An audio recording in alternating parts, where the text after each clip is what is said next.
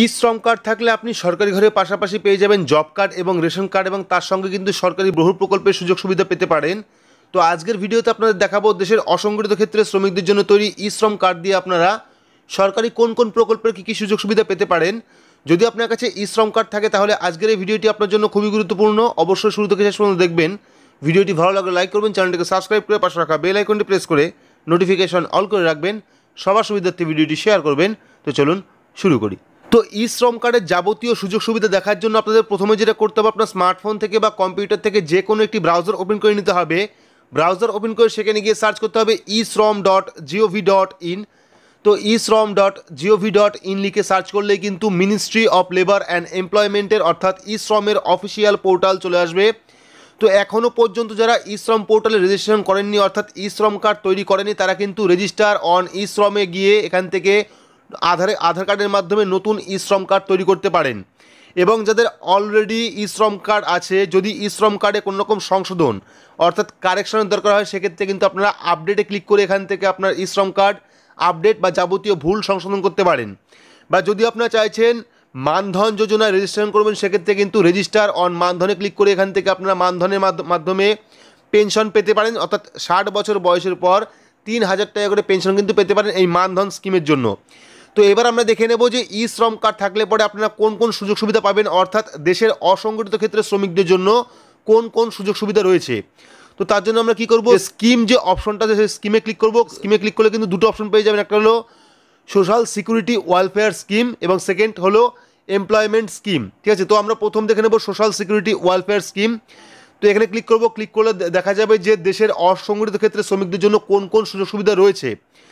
তো এখানে প্রথমেই দেখতে পাচ্ছেন প্রধানমন্ত্রী শ্রমযোগী মানধন যোজনা। যদি আপনার কাছে ই শ্রম কার্ড থাকে বা যদি আপনি দেশের অসংগঠিত ক্ষেত্রে শ্রমিক হয়ে থাকেন, সেক্ষেত্রে কিন্তু আপনি প্রধানমন্ত্রী শ্রমযোগী মানধন যোজনা বা ওল্ড এজ প্রোটেকশন স্কিমের জন্য আবেদন করতে পারবেন। পাশাপাশি national pension scheme for traders অর্থাৎ এনপিএস এই প্রকল্পে কিন্তু আপনারা আবেদন করতে পারবেন। যাবতীয় ডিটেলস অর্থাৎ এলিজিবিলিটি কী আছে বা বেনিফিট কী আছে, তা কিন্তু এখানে লেখা আছে। আমরা কিন্তু এই নিয়ে বিস্তারিত ভিডিও আগে করে রেখেছি। আপনারা গিয়ে দেখতে পারেন। তারপরে প্রধানমন্ত্রী জীবন জ্যোতি বিমা যোজনা, এই প্রকল্পে আপনারা আবেদন করতে পারবেন। প্রধানমন্ত্রী সুরক্ষা বিমা যোজনা বা পিএমএসবিওয়াই এই প্রকল্পেও আপনারা আবেদন করতে পারেন। অটল পেনশন যোজনা, এটা হলো একটা পেনশন যোজনা, এটা হয়তো অনেকেই জানেন, তো এই প্রকল্পেও কিন্তু আপনারা ই শ্রম কার্ডের মাধ্যমে আবেদন করতে পারেন। পিডিএস সব থেকে বড় জিনিস এটা যে সেটা হলো পিডিএস অর্থাৎ রেশন কার্ড, তো এই নিয়ে কিন্তু আমরা অলরেডি একটা কিছুদিন আগে ভিডিও করেছি। ভিডিও লিঙ্ক ডেসক্রিপশন বক্সে দেওয়া থাকবে, গিয়ে দেখে নেবেন। যদি আপনার কাছে ই শ্রম কার্ড থাকে, সেক্ষেত্রে কিন্তু আপনি পিডিএস অর্থাৎ রেশন কার্ডের মাধ্যমে পঁয়ত্রিশ কেজি চাল পেতে পারেন, ঠিক আছে? অর্থাৎ ই শ্রম কার্ড দিয়ে যদি আপনি পিডিএসে আবেদন করেন, সেক্ষেত্রে কিন্তু আপনি পঁয়ত্রিশ কেজি চাল পেতে পারেন রেশন কার্ডের মাধ্যমে। তারপর চলেছে সব থেকে বড় যে জিনিসটা আছে, সেটা হলো প্রধানমন্ত্রী আবাস যোজনা গ্রামীণ, অর্থাৎ গ্রামীণ এলাকায় ঘর তৈরির জন্য এক লক্ষ কুড়ি হাজার টাকা স্কিম যেটা হলো প্রধানমন্ত্রী আবাস যোজনা গ্রামীণ। এটাও কিন্তু আপনারা আবেদন করতে পারেন। তো এর বেনিফিট কী কী আছে? এলিজিবিলিটি কী আছে? সব এখানে দেওয়া আছে, আপনার চ্যানেল দেখে নিতে পারেন। তারপরের যে স্কিমটা সেটা হলো ন্যাশনাল সোশ্যাল অ্যাসিস্ট্যান্স প্রোগ্রাম বা এনএসএপি অর্থাৎ ওল্ড এজ পেনশন বা ডিসেবিলিটি পেনশন বা উইডো পেনশন তো old age pension disability pension এবং উইডো পেনশনের জন্য আপনারা অনলাইন কীভাবে আবেদন করবেন, এই নিয়ে কিন্তু আমাদের ভিডিও আপলোড করা আছে, গিয়ে দেখে নিতে পারেন। সেখান থেকে কিন্তু আপনারা এনএসএপি অর্থাৎ old age pension disability pension বা উইডো পেনশনের জন্য অনলাইন আবেদন করতে পারবেন, কী কী এলিজিবিলিটি আছে বেনিফিট কী কী আছে তা কিন্তু এখান থেকে দেখতে পারবেন। তারপরে আয়ুষ্মান ভারত বা প্রধানমন্ত্রী জন আরোগ্য যোজনা, এই প্রকল্পের জন্য কিন্তু আপনারা আবেদন করতে পারেন। তো যেহেতু আমাদের পশ্চিমবঙ্গে এখনও আয়ুষ্মান ভারত কার্ড চালু হয়নি, সেক্ষেত্রে আপনারা আয়ুষ্মান ভারত হেলথ অ্যাকাউন্ট তৈরি করতে পারেন। এই নিয়েও কিন্তু আমাদের চ্যানেলে ভিডিও আপলোড করা আছে। পাশাপাশি আপনারা হেলথ ইন্স্যুরেন্স স্কিম অর্থাৎ এইচ আইএসএ আবেদন করতে পারেন। প্রধানমন্ত্রী কিষাণ মানধন যোজনা, এটা কৃষকদের জন্য এই প্রকল্পেও আপনারা আবেদন করতে পারেন। ন্যাশনাল সাফাই কর্মচারী ফিনান্স ডেভেলপমেন্ট কর্পোরেশন, এই প্রকল্পে আপনারা আবেদন করতে পারেন, পাশাপাশি সেলফ সেলফ এমপ্লয়মেন্ট স্কিমের জন্য কিন্তু আপনারা আবেদন করতে পারেন। তো একটা কার্ডের মাধ্যমে কিন্তু আপনারা এই সমস্ত প্রকল্পের জন্য আবেদন করতে পারেন। যদি আপনি দেশের অসংগঠিত ক্ষেত্রে শ্রমিক হন, সেক্ষেত্রে কিন্তু আপনারা এই সব প্রকল্পের সুবিধা নিতে পারবেন। তো এর মধ্যে কিন্তু আরও অনেকগুলো স্কিম আছে আমরা দেখাচ্ছি। তো আমরা তার জন্য কী করব? স্কিমে চলে যাব। স্কিমে যাওয়ার পর আমরা কী করব? এমপ্লয়মেন্ট স্কিমে চলে যাব। ক্লিক করলে দেখতে পারবেন এখানেও কিন্তু অনেকগুলি প্রকল্প আছে, যেটা হলো মানরেগা, অর্থাৎ জব কার্ড বা একশো দিনের কাজ।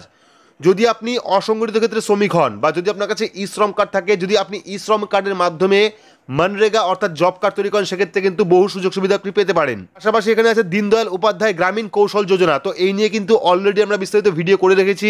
গিয়ে দেখতে পারেন, গরিব কল্যাণ রোজগার যোজনা, এই প্রকল্পে আপনারা আবেদন করতে পারবেন ই শ্রম কার্ডের মাধ্যমে।